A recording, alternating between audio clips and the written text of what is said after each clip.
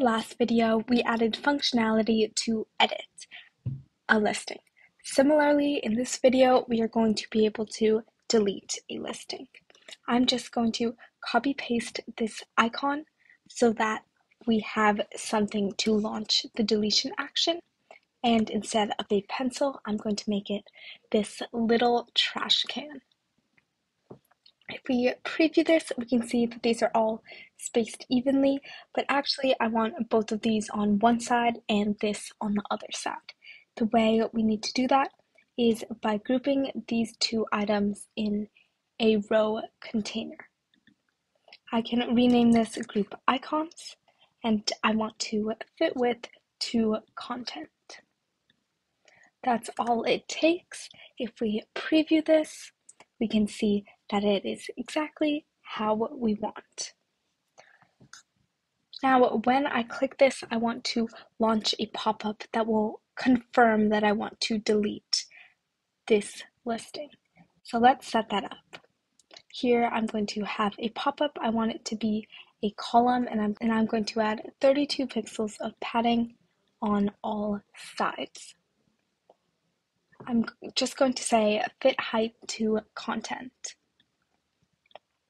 Let's add a piece of text. This will say something to the effect of, are you sure you want to delete this listing? And then I want to show the address of the listing in question so that the user knows exactly which listing they're trying to delete. I'm going to say fit width to content, remove the height and say fit height to content, and I'm just going to put it in the middle. Let's add another text. This will actually show the address, but it will be a blank for now. And we can center align that as well. Lastly, I need a button, delete, this will be the confirmation that we need and it will actually launch the action. And I want the min the it to be a fixed height of 48. Now I can take this and remove its min height. It'll condense to just fill what's inside of it and then I want to add 32 pixels of gap spacing. I feel like that's too much between this and this address text. So I'm going to group these elements in a column and edit that column to only have 8 pixels of row gap. Okay, in order to understand which listing we are trying to delete, we need to have a type of content listing here. This is exactly what we did with the edit pop-up and I'm going to just launch that workflow. When this icon is clicked, we are going to display data in our pop-up listing, which I'm going to go ahead and rename right now.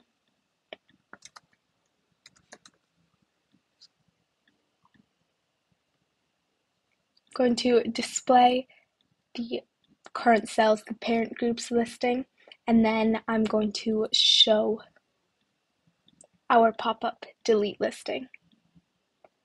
Now that it's got a type of content, we can make this show the pop-up delete listings listings address. I want to preview this. We can click this button. This is Rainbow Drive. And we see this and we see our address. Now let's add the functionality to make this delete button actually delete our listing.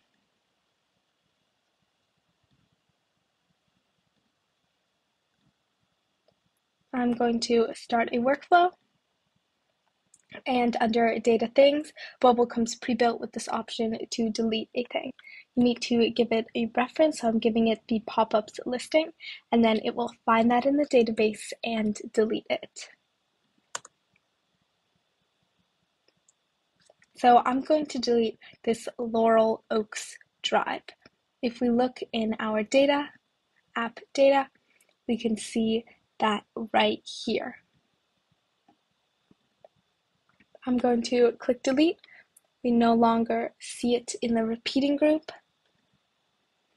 And if we refresh it here, I guess we already don't see it anymore. One thing I noticed is when we click button delete, all we did is delete the listing. We actually first have to reset the data. Not first, we have to also reset the data and hide the pop-up. Now, the problem is, what if I want my user to be able to recover their listing? Or what if we have offers on these listings? If we were to just delete these listings, these offers would be abandoned, orphan data that doesn't really connect to anything, but they just exist. There are two ways to counteract this. One is to make sure we tie up all loose ends when we delete a listing. So we would delete all the offers that had the listing as this listing. Or there's to soft delete. Here I added a field called active and it's a yes or a no. Here instead of deleting the listing, we can instead make changes to the thing and set it to inactive. Set active equal to no. Here I can take this listing, I can click delete, and I can delete it, and we still see it here. But if we look at our database, this was Memorial Drive. Memorial Drive is now not active. So all we need to do is on our repeating group add a constraint. We will cover this more in our video about search functionality and filters, but essentially when it's doing a search for all of the listings in the database, it'll also check that this condition is true. So for each of the listings that it finds, it's going to check that active is equal to yes. And if it isn't, it's not going to include it in this repeating group.